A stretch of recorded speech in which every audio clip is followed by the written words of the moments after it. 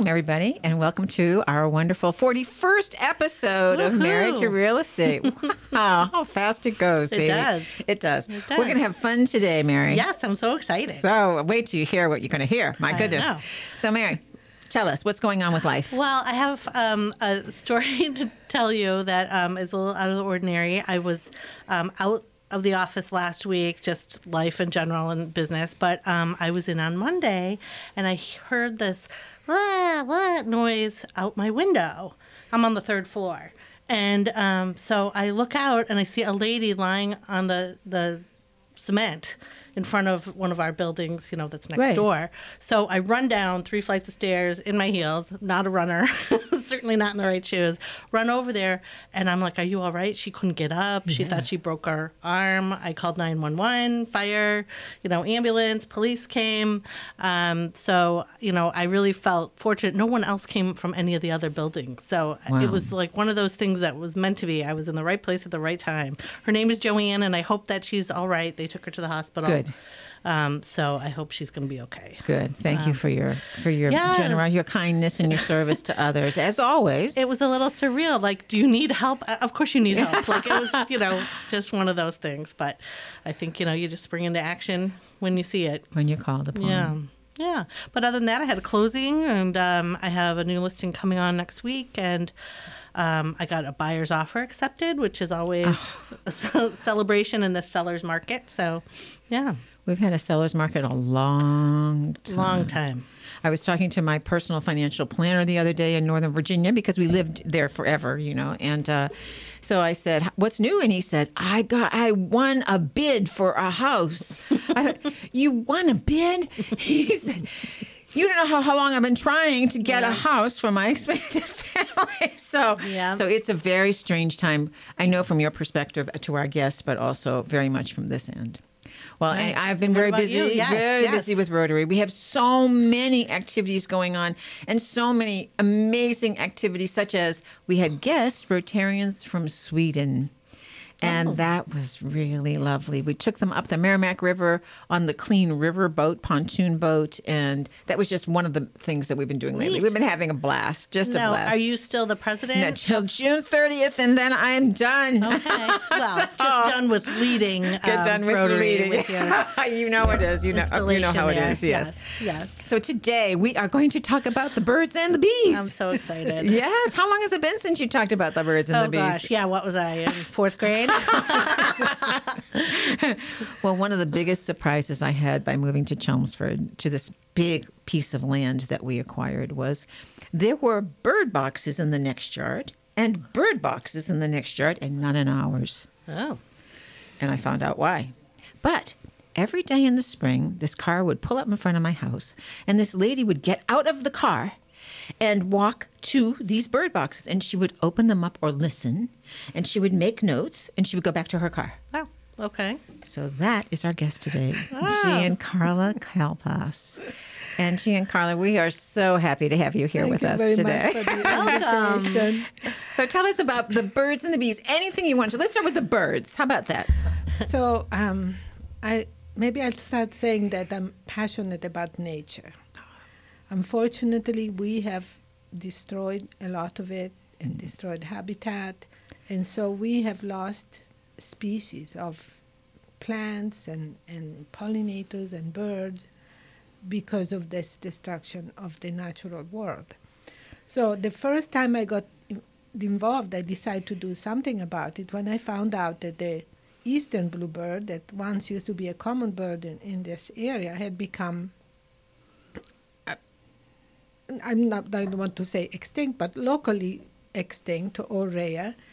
And I found out that the way to help them was to um, replace the natural cavities that in the old days they used to live in, like a, in, an abandoned woodpecker nest hole in a tree. And um, if you put up bird houses and then monitor them regularly and, and help them, um, the bluebirds would come back. And so I first started in my own backyard, and it took a few years for before the, they actually came, but in 1992, it I think it was April 28th. It's like the birth of was, a child. um, you know, we we saw a bluebird in our yard, and he was checking the birdhouse, and yes, they did bird, build a nest, and they had eggs and babies, and and that was the beginning of the 30 plus years of my be monitoring uh, a bluebird tree. But see, my yard was not enough. I saw people had put up birdhouses in other locations, and so I volunteered to do the monitoring because monitoring is essential for the success.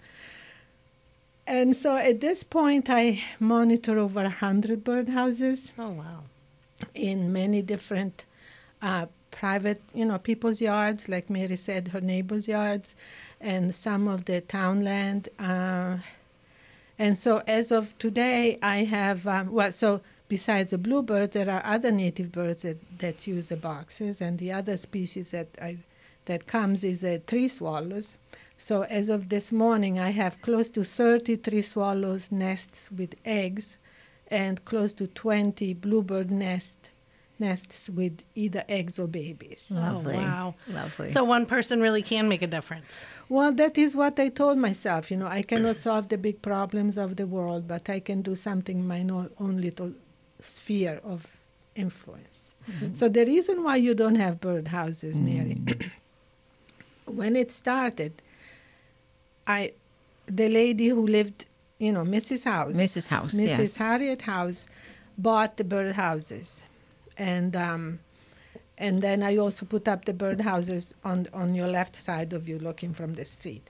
But then when she, uh, when Mrs. House di- died, the next owner was not interested in birdhouses. He contacted me and he said, "Remove them as quick, remove them immediately."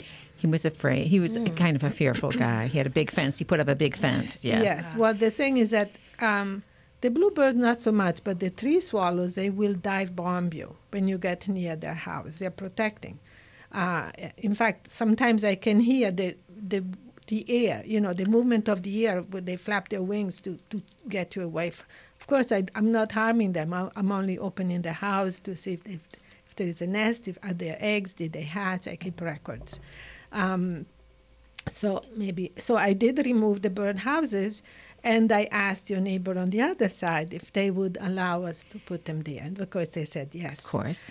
Now the reason, the, the reason we di- I didn't offer or didn't ask you to put houses on your backyard, is that the bluebirds are territorial. They will not allow another pair of bluebirds within, say, the length of a um, football field. Oh. So the distance between your two neighbors would allow me, in fact, would allow two pairs, one here and one there, but in the middle. Not my yard, uh, yeah. Yes, but you can still enjoy the birds. They came on the suet. We put suet up this winter. Yes. I had bluebirds all winter. Oh, so that's all right. a I lot of other visit. beautiful birds. But Yes. the tree swallows, they dive bomb me when Yes. I when I mow, you know, and now I've gotten used to them. And but they're beautiful also. You can wear a hard hat. she has other You plans don't have a lot of hair for them to grab onto either, Mary. So We're going to hear about the bees pretty soon okay, too. good, good. yes. So the the project of, of helping the bluebirds and, and the other native birds uh, has been successful. So when I found out about the problems with uh, native pollinators being in decline, um, I wanted to take action about that too because I knew that I could help with something and said, well, maybe I can help with this other problem. Right, you have a proven track record. So, so what I found out it, if, is that of the 12 bumblebees that used to be common in Massachusetts, two species have already been lost oh wow. in the last couple of decades. The Mm-hmm. scientists are telling us. And then there are three other species that are on the way to becoming locally extinct. So, Mm-hmm. um, and I learned what to do to, to help. So what what do you do? So you need to uh, plant the right plants that these um, bumblebees and other native bees need. They need plants for pollen and for nectar for the whole season. They collect pollen to feed their larvae, their young ones, and they need nectar for themselves to eat every day. So you need to have a constant supply of pollen and nectar. But they have to be specific plants that they have co-evolved with throughout thousands and millions of years. They have their preferences. Like I do. Yeah, they're picky eaters. So, and some plants give a better quality pollen or, or nectar. And the other one, the other part of it is that butterflies also need our help because most of the butterflies have um, specific needs. Like they, they lay their eggs only on a specific species. Hmm. Oh, wow. Like we, you probably heard about the monarch butterflies that mm-hmm. will only lay eggs on milkweed Oh, um, because of those. Cut, again, they have co-evolved the plants and. Oh, sorry, the hands. I just did it all. No, no, no. I've been doing Yeah. this That's all right. It's a free for all now. to our audience. If we hit these, it makes lots Yeah, of noises. bang on the so table, Don't worry about it. hands, Bang. yeah. Khrushchev did. You know? so, and so it's not only the monarch. uh, There are many other butterfly species that only lay eggs on certain plants, and so if they cannot find the plants, they will not lay the eggs, and so they will not be the next generation of the butterflies. That's the birds so, and the bees part. You so know? the Yes. birds and the bees. So, um, so that is the idea. There are scientists who are, who are studying these relationships, and and they're telling us which are the plants that are needed. These, of- course, are native plants, but not any native plants. Specifically, we want to plant those that help the species at risk. And are those plants easy to find or harder to find? Um, things are changing, so yes and no. Okay. Uh, first of all, I want to say that the scientist that is giving us the, the information and the, and the research is Dr. Gegear, who's a professor at UMass Dartmouth.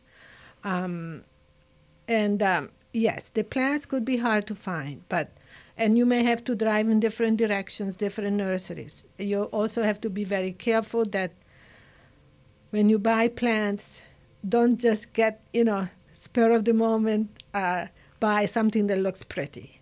It ha- because it may look pretty to you, but it may not have the resources that are needed. No by- by appeal the- to the yes, animals. Yeah. impulse buy. Yeah. Don't do impulse buying. Take your print your list out from the website, the the Beecology website, and and then go shopping with the list, and be very specific. Do- and also, don't buy. You may find something that looks like the right plant, but if it has an extra name in single quotation, that is a cultivar. It's not a straight species. Ah, okay. So, So, they won't we, like we it. just have to be so careful when we go shopping for plants. But sounds like there are information sources available. Yes. Right, yeah, Uh, yes, I belong to the Bumblebee Project, which is uh, sponsored by the Sudbury Valley Trustees, and, and there there is a lot of information. The link to the plant list and, Mm-hmm. and where to buy the plants, but you can also go directly to Dr. Gegear's website. If you if you Google Dr. Gegear's plant list, you'll find it there. G E G E A R. A-R, Jiggy. Yes. Yes. Yes. Okay. And he's coming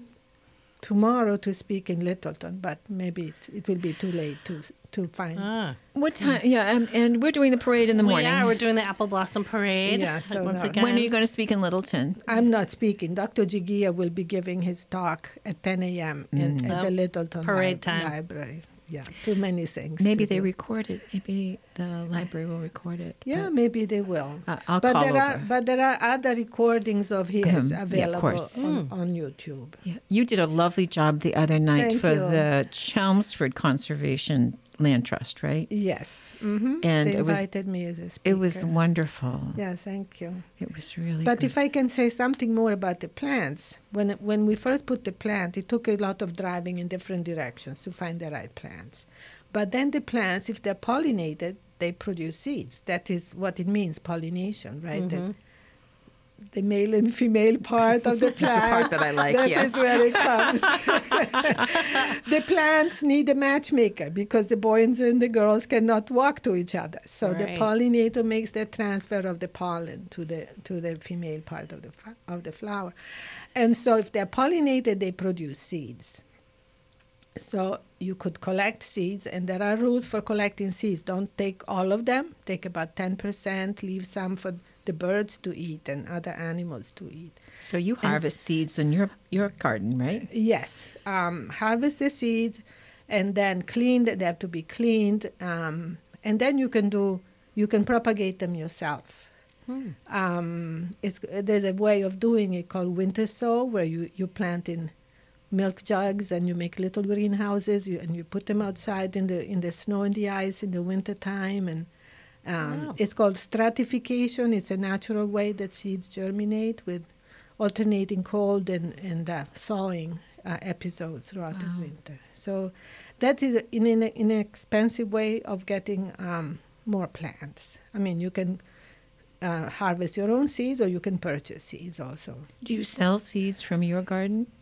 No, I don't sell them. I, I give Just them them away. away. Okay, good. Excellent. So, tell us about your, your how you're acquiring land. I've noticed that you are very talented. So when I decided to do this, um, the the part of the program that, that I'm following with the Bumblebee project is to put a, plant these plants, but not just in your own hidden yard. You know, to to do it in a public uh, place where it becomes a public display, pollination preservation garden, and so people, you know, they'll walk by, they'll get curious, and they they will learn about what we're doing. Um, and so I, I I was familiar with the Sunny Meadow Farm because that's where I have some of the bluebird boxes and where I have a little plot in the community gardens. And there were some there was some land there that was not used for a while, looked abandoned. So I was I said I asked the person in charge of the activities. I said, "Well, can I have this little square of land for a pollination garden?" And he said, "Oh, sure." He was happy that the place was getting cleaned up. Right. But then there were more and more places that um, seemed not well taken care of, and I kept asking, and he kept saying yes. So at this point, I have like five different plots. Very good. Yes. And are they together? Have you been able to string them together? The plots? Well, they are next to each other, but they are all in separate enclosures. I see. Uh, we, yeah, it would have been easier to make just one bigger, you know, one big enclosure, and would have taken even less um, fencing material. Mm-hmm. But that is how it, because it didn't start planned that way from the beginning. It it kept expanding. Right. Well, I But- was so enthused when you were speaking, just so enthused. But I'm thinking at 73 years old, how am I going to do this in that back 40 that we have? but I'll call Giancarla and she'll, she'll give us some advice.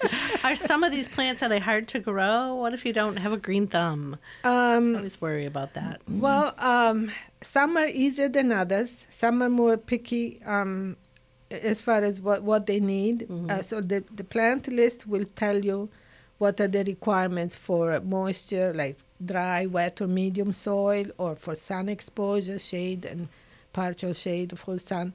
Um, and some are very easy. They just kept ex- expanding. They self-seed and they come up all over the garden. Now I say, what am I going to do with all this penstemon that's growing in the middle of the prunella? but then there are others that are more difficult, like uh, because they are. Um, in fact, I just lost uh, Baptisia, Baptisia tintoria. It's a little shrubby plant. It's a host plant to one of the butterflies. So I'm really sad to have lost it, but I couldn't find and you know I couldn't find it when we went to clean up Oh. the garden. So That's another come thing I would like to mention about the cleaning up. Mm. Um, we should just just not do garden cleanup in the fall. Uh, we should leave the leaves and leave the stems because those are habitat, wintering habitat for the bees. Um, You know that is where they they just spend. They need to be insulated under the layer of leaves, and then some some of the uh, bees nest in those stems.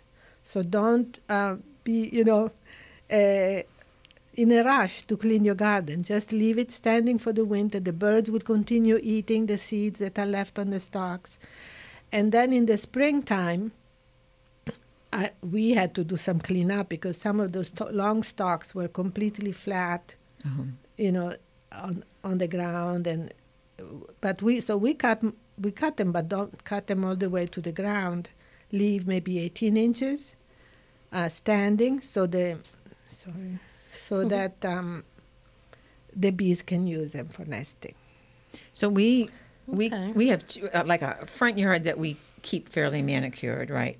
But we didn't pick up our leaves. We didn't pick up the leaves along the wall and and on the the plantings, and so.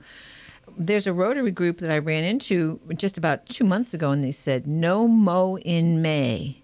Well, if I didn't mow in May, we would not be able to recognize our, our house. But in the back, it's like a blank canvas. There's no chemicals. There's nothing back there. But we also left leaves and dirt in mm-hmm. certain piles and mm-hmm. Mm-hmm. took the grass out in a certain area. I know you'll be happy about that.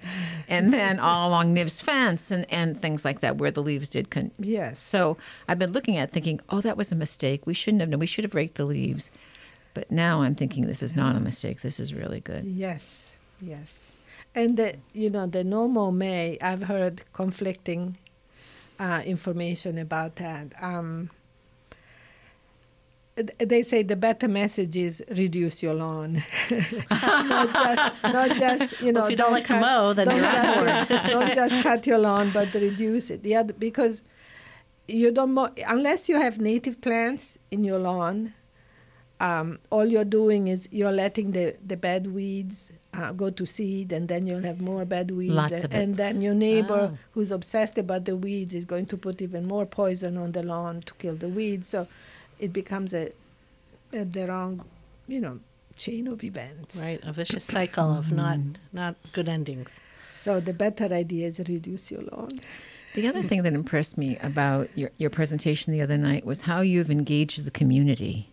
Yes, and I, and I'm really surprised about that. But it seems that every time I needed help, like putting up the fences, preparing the ground, people were just fighting each other to come and help, or they would come and bring a friend, bring a spouse. You know, the people I did not know, complete strangers, they offered to help, and they came and brought friends. So um, tonight I'm going to do some work there with a couple of volunteers. Uh, We have wood chips to spread on, on the paths in the new garden that a Boy Scout built for us um, for an Eagle project, and you know people are coming to help.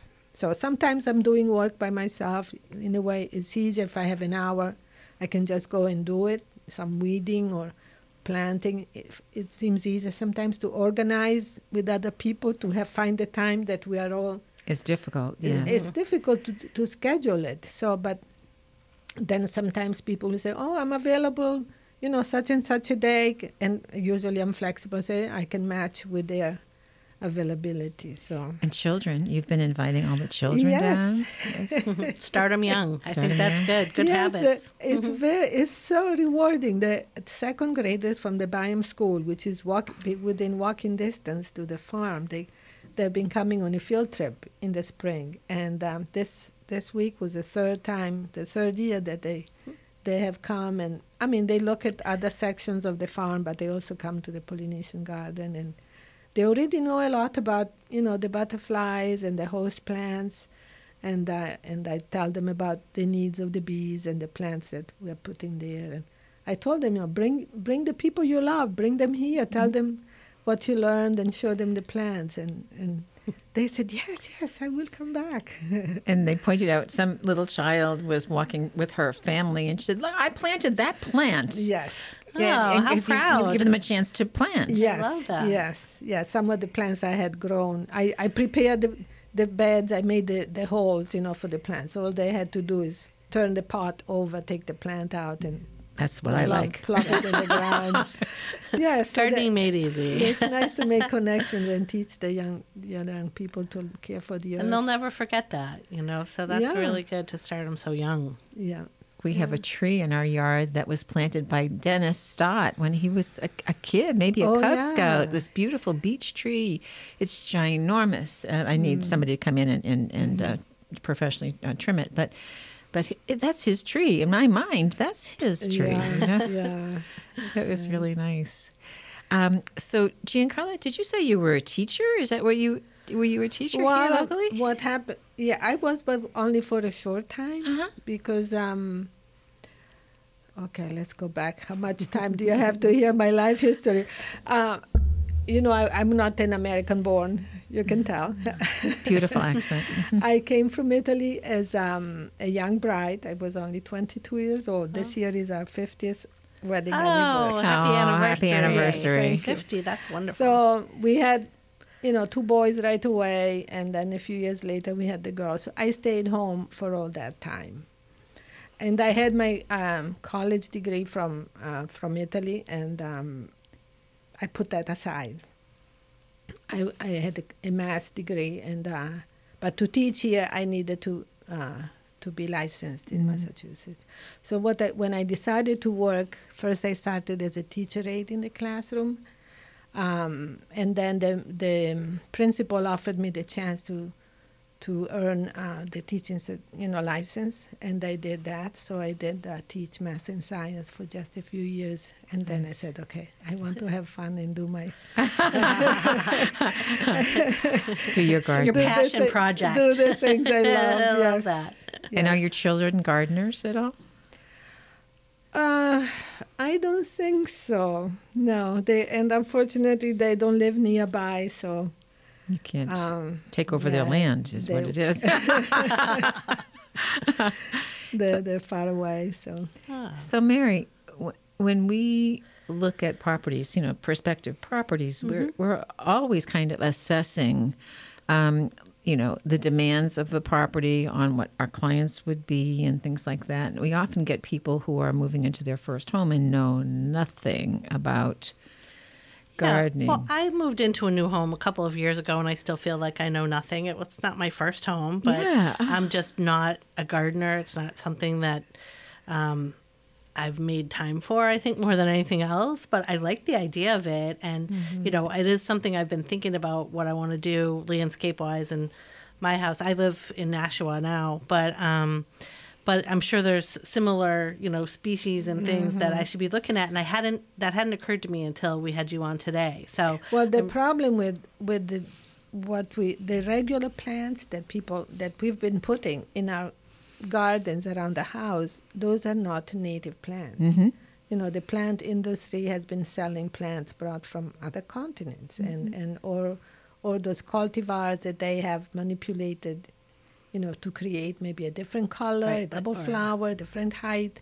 right. Um, so and, and people don't rea- don't know that concept. That, You know, you may have had it in your yard for 50 years, but it's still not a native plant. You know, and, and it's not helping the ecosystem. It's not helping the bees, the butterflies, the birds. So uh, we really we need to turn around and, and look to put plants that are native. They're, they are beautiful. They're just a little bit more wild looking sometimes. but they're beautiful and, and it is even more beautiful when they're full of of the bees and the butterflies Right. that we're trying to help and then the birds come to eat and you know so Well, you say that ecosystem, and, and I immediately think rainforest. Like that's somewhere else in the world. That's not my own backyard. So I'm, it is in our own backyard Yeah. in fact if you have uh, read or, or, or heard um, dr Tallamy uh, he um, is writing about uh, like create not don't just look at the national parks as a place for nature to be, but look at uh, they, he calls it a homegrown national park oh, Oh. I like where that. where we plant, you know, right, plant where the, you live. the oak trees and Yes. plant like trees that like the oaks that um, provide caterpillars for, for the birds. Like a chickadees needs thousands of caterpillars to feed to their young ones. So Yes. if we don't have the caterpillars, then the, the right, then the chickadees disappear. yes. So create your own homegrown national park. Oh, I love that. Yes. I noticed that the water table is very high around here, right? So where I, where I lived all my life down in D.C. and in Virginia, water tables were not high at all, but here they're mm-hmm. very high. Lots of swamps, not so far away. Yeah, et cetera, et wet- So wetlands, yeah. Wetlands. So we have a wet area, a, a very wet area down at the bottom of our yard. That's where the grass is the most beautiful, by the way, yeah. and the hardest to mow because it's very thick and it's often too wet to Squishy. mow. It's squishy. so I noticed on your list uh, something called willow, mule willow. Is that really a willow tree? Well, there is um, there is pussy. There are many different kinds of native willows. The pussy willow is a, is a common one, but there are prairie willows and you know different kinds. I Um, think of the one, the big droopy ones, you know, that like Oh, a willow wet tree. areas. Yes, they like wet areas, so you could plant willows down there. Yes. Yes. And the willows, the good thing with willows is that they're um, the first plants to bloom in March, or, Oh. or you know, or whenever. Whenever. Whenever spring happens in New February England. next year. Depending on the weather, yes. exactly. But the willows are the first source of pollen and nectar that the, that the bees Oh. coming out of hibernation will, Ah. will find. and and so it's very important. Willows, talking about again boys and girls, willows have a characteristic that the male flowers are all on one plant and the female flowers are all on the other plant. So. Oh. So you want Um, two? Like Well, if you well, you want to if you want seeds, but if you the the male plant has a pollen, which is very very important. So, if you if you have to choose, better to have a male um, willow. and how do you tell that when you go to the, Well, someone they're- else they're- knows? they're- not- you can't look Well, under the go branches or anything, right? I, I learned I learned how to identify that. Um, yeah, I'm we can I'm not going to make jokes about that. But um, when Too when late. the flower blooms, you, you know when you have the flower. I, I bought um, somebody recommended a jeweler's loupe. It's a magnifying lens. Oh, yeah. So when you look at the flower, you're actually seeing the female because the female part is going to make the seed. It has a different shape. Oh, okay. It, it may it may be like a roundness, you know, like Wow. yeah. So we're gonna. I want you know. I have to shade all those golf balls. They've been coming. They've been. Something has happened so that whatever was protecting our solar panels from the golf balls is no longer there. Oh. So something has come. Something has come down on the golf course. Right. Right at that ninth hole. Yeah. And so so we are getting dings all the time, which of course ruins the Damaging damaging the and and the golf course does replace them. Does re- Really? yes. But I was thinking down there it would be wonderful to put you know, something that would shield or at least would catch- stop the ca- balls. catch the- yeah. So I was thinking of a couple of willows. Yeah, so put the will. You can put a row of willows. Yeah, down row there. of willows. and They're, they're kind of lot hurt of each male ones. Bam. Well, you have room for some girls too. we have the room for girls, yeah. So, so we'll be we'll be talking to you about willow trees. I recently read a book called "This Hidden Life of Trees," Mm. which was just magnificent. So when you talk about plants, this is this is the science of trees. Hmm. And um, when I, I was sick two years ago, they recommended something called forest bathing. Yes. Well, forest bathing is just sitting and being among the trees, and that there is the energy and whatever they mm. release Relaxing. that is relaxing and oh. calming. And have you do you do you feel that way around the plants that you're around, or well, there is such a thing as uh, meadow bathing. oh, In fact, that is a concept that I promoted when I um, made the proposal to put the meadow at the new farm that the Coolis. town, at the Coolis farm that Yes. the town purchased last Oh, year. yeah. So I'm I'm pushing for to have one or two acres. I don't know how much they will end up giving me. I mean, giving it's not giving them to me, but Putting you in charge of. um, and and so you would be able to do the same, walking among the, you know, the the wildflowers, the native flowers, and. But for me, yes, for me it's almost a religious experience when um, I see the flowers and and the bees and the butterflies. I say thank you, thank you. Um, I say a prayer of thanksgiving. yes, Um, or if I find, you know, the the bluebirds have hatched or the bluebirds have fledged, I said, yes, thank you, thank you. Yeah. It Wait. is a spiritual experience It's- in a way. It has been so wonderful talking to you. But I wonder if you'll tell Mary a little story that Oh. you told me last night about uh, Jane Seeker, Jane Newhouse, Yes. um, who was I- on our show. Yep, yep. I, no, you- Jane. You, sent me you sent me a couple of uh, shows to, to watch just to get familiar with the, the setting, and um, and so she had said if you find uh, an an abandoned animal, your first concern is not to feed it. The first concern is that the animal is cold because something happened to the mother, and um, the either the bird or you know whatever animal it is cannot is not able to eat if it is just cold. Yep. So um, it was a sad, it's a sad story. At at your neighbor's house, I knew there were the babies, there were bluebird babies. I did not know how many because you know I had seen that there was still some egg. well, The first time I saw the hatching, I didn't count them. You know, I just saw that, so I recorded that they hatched. Then the following time, I was going to count them. But when I put my hand over the nest, I f- it was icy cold. Mm.